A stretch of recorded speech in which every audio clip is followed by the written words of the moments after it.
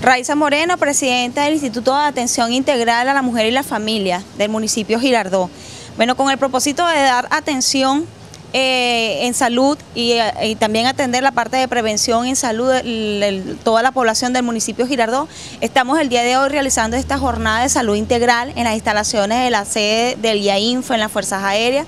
con un programa atendido por médicos, eh, dos odontólogos, un médico nutricionista apoyándolo por el Hospital de los Amanes, eh, médicos eh, de atención integral. Este, también contamos con el apoyo de laboratorios como Colme, Vivas,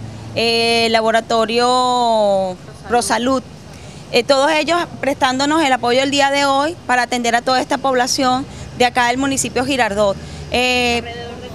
Tenemos un aproximado para atender un alrededor de 200 personas el día de hoy. Quiero aclarar, todas estas jornadas las venimos realizando desde hace ya varios días, sobre todo atendiendo a la población de, los que están en calidad de refugiados, sobre todo en el cuartel Paz. Y vamos a seguir también atendiendo al resto de, eh, los refugios y de la población que se encuentra en, este, en esta contingencia en el municipio. La semana próxima, si Dios quiere, estaremos atendiendo el refugio en la unidad de creación El Viñedo, a las 96 familias que se encuentran allí y estas actividades, esta operativa, vamos a continuar realizándolo a nivel de eh, trimestralmente aquí en nuestras sedes y tenemos la invitación, la comunidad que necesite, la escuela que requiera de, atención o de charlas, también de parte de nutricionistas, podemos atenderlo, podemos trasladarnos hasta allá, solamente estamos esperando por la invitación de todos ustedes.